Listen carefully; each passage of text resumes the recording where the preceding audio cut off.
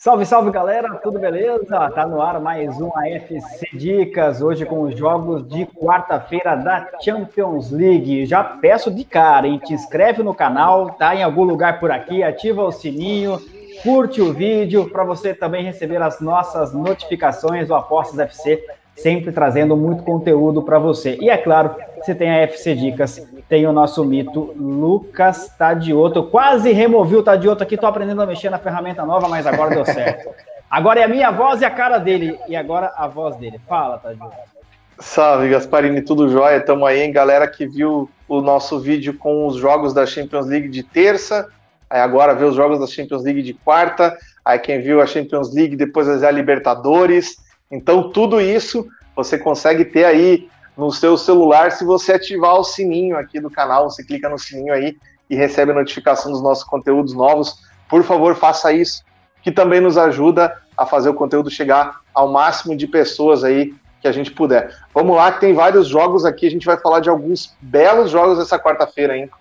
Pois é, já coloquei aqui a tela da Betfair Exchange, está conosco aqui no AFC Dicas. Em algum lugar por aqui também tem um link para você ganhar uma camiseta da Betfair, hein? Camiseta exclusiva na parceria Betfair Apostas FC.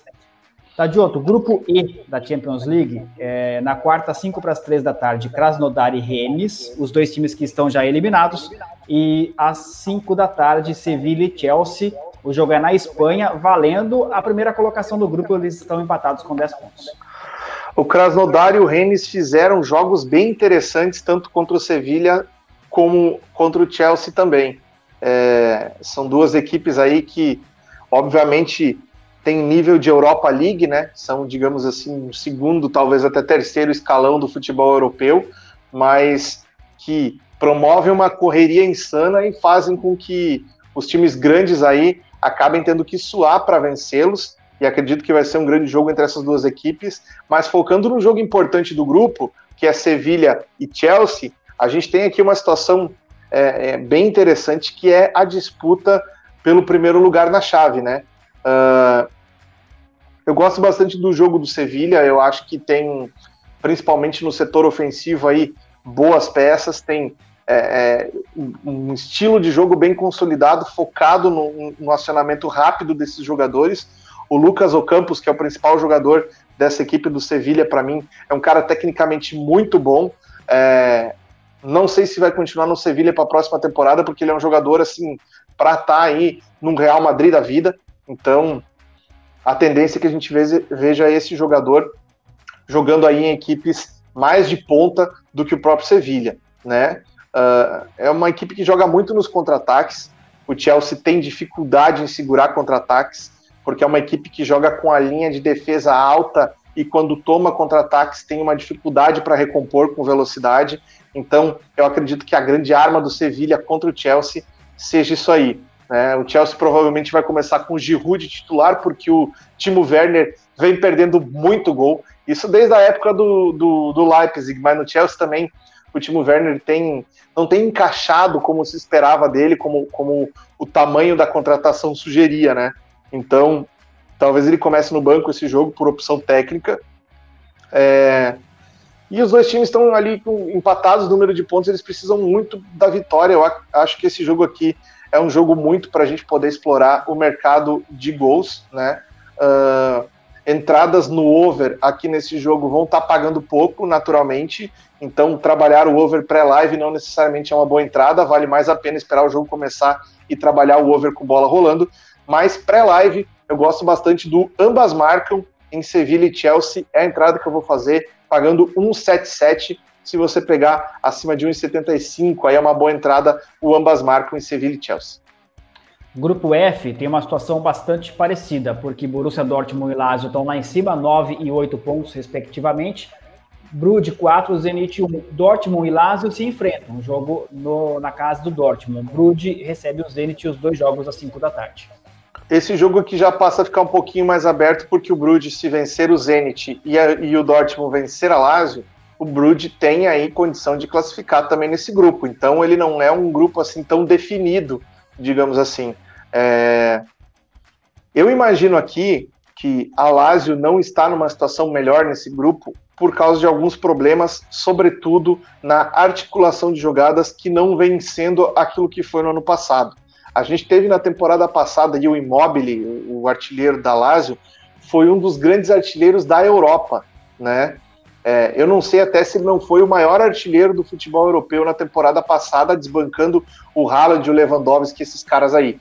Então, assim, é um jogador que tem absurdo potencial, mas que, por algum motivo, a bola não tem chegado nele para finalizar a gol como chegou na temporada passada. Eu acho que a Lazio tem aí alguns problemas que precisa melhorar. É um time muito forte fisicamente, que oferece uma marcação bem firme contra seus adversários mas o outro lado tem o Dortmund, né? A gente vê aí o Dortmund fazendo jogos é, assim, só para só o gasto assim, no, no, no, campeonato alemão, na Bundesliga, mas na Champions League o Dortmund vem conseguindo fazer partidas bem interessantes, jogos legais de olhar. É, e eu acredito muito nessa equipe do Dortmund para chegar, inclusive se a gente tiver aí o Hazard, que não é o Hazard do Real Madrid, né, o irmão dele, que para mim joga até mais bola, é, se esse cara for titular, conseguir fisicamente estar bem durante todos os jogos do, do, do Dortmund, ele é uma peça fundamental para fazer com que a bola chegue no Haaland, que é um grande jogador desse, desse Dortmund aí. Então, é um time que tem alternativas. Tem o Sancho também pelo lado do campo, que é um cara muito veloz e também consegue criar situações para que o Haaland conclua bastante a gol. Eu gosto muito do Dortmund para vencer esse jogo, como não tem ódio, eu peguei o handicap asiático Dortmund menos um, tá pagando 2,05 aqui, então qualquer odd acima de 2 para pegar o menos um do Dortmund aqui, eu acho uma entrada boa, porque eu não vejo a Lazio entrando muito bem para esse confronto aí. Vamos lá para o grupo G, se eu não estiver errado, exatamente, que é o grupo do, de Barcelona e Juventus, os dois já classificados. A Juventus recebe o Dinamo de Kiev é, e no mesmo horário, os dois às 5 da tarde, o Barcelona pega o Ferencváros fora de casa. Olha, são jogos legais a gente assistir pela dinâmica que pode, que pode surgir de um desses times pequenos aí surpreendendo, mas assim, as odds estão muito apertadas aqui, o mercado não permite que a gente faça qualquer coisa nesses jogos pré-live. São jogos que a gente pode buscar uma situação inusitada é, com bola rolando, caso algum desses times menores consiga fazer alguma coisa contra os grandes. Mas pré-live, eu não vejo como trabalhar nesses jogos aqui. Prefiro focar no outro grupo aí que tem o Manchester e o PSG, né? Manchester e PSG que se enfrentam às 5 da tarde, o jogo é na Inglaterra, o Manchester tem 12 pontos, perdão, o Manchester United tem 9 pontos ganhos, o PSG tem 6, o Red Bull Leipzig também tem 6 e o Istambul 3. Então, Manchester e PSG é um jogo e às 5, né? E às 5 para as 3 da tarde, um pouco mais cedo, o Istambul recebe o Red Bull Leipzig. Esse aqui é outro grupo que todos têm condição de passar, né? É natural que o Istambul é, é, seja aí o menos menos cotado para classificar, mas também se ganhar as duas partidas que falta vai a nove pontos e provavelmente com essa pontuação classificaria. Agora, é, focando no jogo do Manchester United contra o PSG, para mim, os grandes jogos dessa rodada aqui, a gente tem é, um PSG já bem próximo do que seria seu ideal, com o Neymar retornando, com o Verratti retornando, só faltaria aí é, nesse conjunto daqui a pouco o Icardi que também está recuperando de lesão aí, para a gente ter um PSG mais completo possível. Né? Eu acho que o retorno do Neymar e do Verratti são peças importantíssimas para o PSG jogar o seu melhor futebol. Ainda não vão estar fisicamente na sua melhor forma, né? Mas só de ter esses jogadores em campo, eu acho que o, o PSG já vai para outro patamar de, de equipe, né?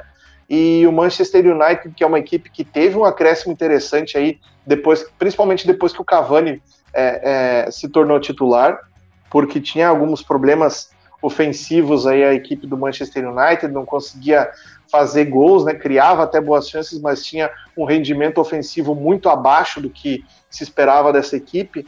Agora o, o United deu uma melhoradinha, mas para mim ainda falta nesse time do Manchester United algo diferente que faça com que eles briguem por algo grande nessa competição, sabe? Então, é, aqui eu gosto bastante da odd do PSG para começar o jogo, inclusive escolho fazer pré-live aqui um PSG com empate anula pagando 1,77. Eu acho uma cotação bem interessante para a gente ter um empate protegido é, para o lado do PSG aqui, num jogo onde, certa forma, o Manchester é favorito, mas o PSG pode sim fazer um grande jogo e sair com um resultado muito positivo, o que seria muito bom para as pretensões do PSG nesse grupo que está bem disputado aí, né? Passamos a limpo. A quinta rodada da Champions League. Teve jogo, tem jogos na terça, não sei quando você está vendo esse vídeo, se os jogos já foram ou não, mas enfim, tem um vídeo com os jogos da terça, este vídeo aqui com os jogos da quarta. É apenas uma partezinha pequena assim, ó, do material que o Apostas FC produz nesta semana, porque ainda tem Libertadores, tem Brasileirão, tem muita coisa rolando. O mês está começando, está começando também torneio de tipes, hein? Está começando torneio de tipes. Vale a pena dar uma passadinha lá no site do Apostas FC, enfim, tem muito material, muito conteúdo, muito prêmio para você. Tá, Diota? A gente se encontra num desses vídeos aqui no YouTube, beleza? Com certeza. Era isso aí. Até a próxima. Um grande abraço. Grande abraço, galera. Até mais.